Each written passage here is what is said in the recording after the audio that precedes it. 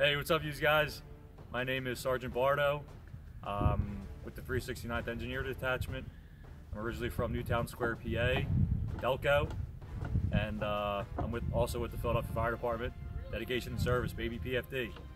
Uh, today, we'll be doing a walkthrough of the TFFT, Tactical Firefighting Truck for the U.S. Army. All right, so what we have here is the M1142 TFFT Tactical Firefighting Truck. Um, this is manufactured by Pierce. It's on a HEMTT chassis. Um, the truck itself has a thousand gallon per minute pump and it holds a thousand gallons of water. This truck is capable of both structural and ARF. ARF, as you know, stands for Aircraft Rescue Firefighting. ARF capabilities, I don't know if you can see it from here, but we have a 500 gallon per minute uh, roof turret and a 250 gallon per minute bumper turret. We also have four ground sweeps underneath the vehicle. Um, they pump out at about 15 gallons a minute. Discharge capabilities, this truck has a total of six discharges, two on the driver's side, two and a half inch, same thing on the passenger side. We also have two pre-connects on top of the vehicle.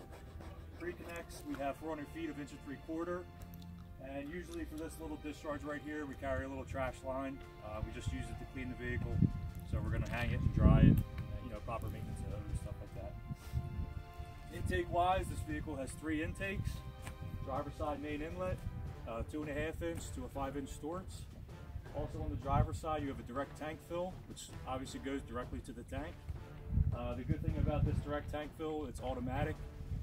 The uh, driver pumper operator from the pump panel and switch it to auto. So once it gets full, the uh, truck tank will automatically shuts. And we have an auxiliary inlet on the passenger side. Um, the truck itself, like I said, it's manufactured by Pierce on a HEMTT chassis. It's 11 feet tall, nine and a half feet wide.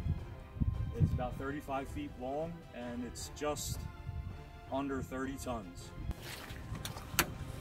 All right, so what we have here is just the, you know your standard four four man crew cab got heat, AC, and uh, out rack controls right here. Engineer compartment. You need your chair for the flight line. Um, standard engineer tools, you know, couplings, gated wyes, different tips. We have a, a, Siamese on here, two and a half inch Siamese to a four inch national standard thread. Um, that's for dual three inch when we're getting fed water from the HEWAT. Uh, these are what I call your everyday tools. Um, you know, your hose clamp, your piercing nozzle. Uh, you look at them, they're on the truck every day. So, everyday tool. Appliances for airbags. I don't know if you can see from here, but that rope right there, we have airbags on the vehicle. We have a gift from the uh, PFD. We call it a second in bag. Uh, right now it's got a Philly load on it which is just an adaptation of the Cleveland load. So the first two lengths, it's got three lengths total of inch and three quarter. First two lengths are Cleveland loaded, and then the last length is a uh, just an accordion type flat load on the top. And this compartment also has the Hurst tools. Over here is our medical compartment. uh, various tools, you know, PW, dry chem, um, we have uh, air hammer and the blitz fire, you know, for drown and drowned or salt compartment. Cutter's edge, K12, and we have a reset right here. And glorified storage compartment slash wildland slash hand tools and fan compartment know, just assorted hand tools for wildland, forcible entry, stuff like that. The officer seat. If you look in there, there's the uh, handle for the roof turret and joystick for the bumper turret next to my helmet. I forgot to mention earlier, this truck also has eight-wheel drive, 8x8, which makes it tactical. As I mentioned earlier, Bumper turret, roof turret. Bumper turret puts out about 250 gallons a minute. Roof turret 500, so within one minute, you're down 750 gallons. As I stated earlier, the truck holds a 1,000. So um, you got to be really proficient getting water from the lot. There's one of the ground sweeps right there, which is another ARF thing. So uh, to conclude this, I just want to thank American Responder Designs uh, for supporting our unit throughout this deployment with uh, hoodies, t-shirts, you know, stuff for our families, stuff like that. So if you want to get your hoodie or shirt from American Responder Designs, uh, it's going to be available one last time. Um, it goes to help us out on the deployment.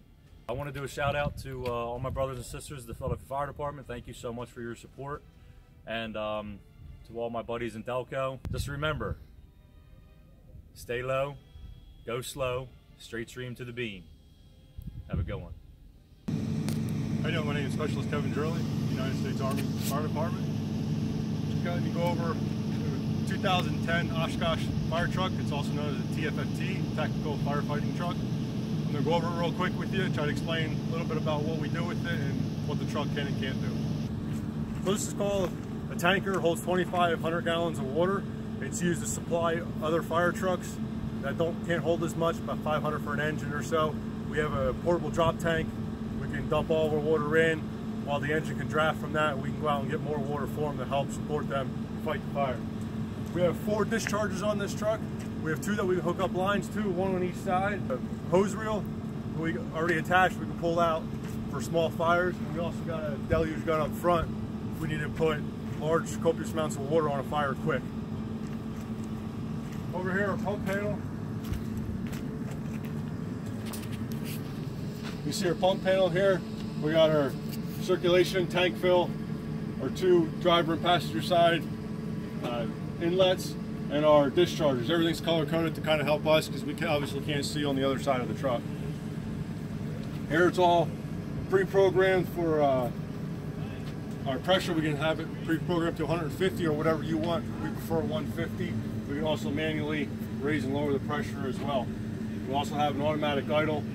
We can just put it on idle and it'll hurry up lower it in case for some reason we need to drop the line and run out of a building or something. Right here is where we store our drop tank, pull it out. And uh, like I said, we can set it up anywhere we want and drive from it. We got our two draft hoses. Hard suction, one on each side. That's what we use to help draft. One of our side discharges dump into the uh, porta tank. We also have one on the other side. Just a compartment here. Kind of use to put some hose and store some of our gear because we really don't have too much space on this truck. Two-man truck. Uh, you got your driver and your operator. We got some coffins, what we call them up top, where we're trying to store some extra supplies if we need it. Like I said, there's really not much room. Uh, all this is really designed for is trying to get a large amount of water into a certain place quick to help support other units. Now moving to the front of the truck, this is our bumper turret, also a deluge. Like I said, this is what we use to throw large amounts of water on a fire pretty quick if we roll up. It works off a hydraulic system. And we got the controls in the cab, the driver or the passenger TC can operate it. Inside the cab here, you can see there's really not much space at all. Uh, it's an automatic. It's, like I said, it's a 2010 Oshkosh. Uh, it's eight wheel drive, eight by eight. Uh, we usually keep it in four by, just the rears. Uh, it's got a dual turning front wheel on it. So again, special thanks to AmericanResponderDesign.com. Check it out. Buy one of these sweatshirts, t-shirts, and help support the uh, 369th Engineer Detachment. Thank you.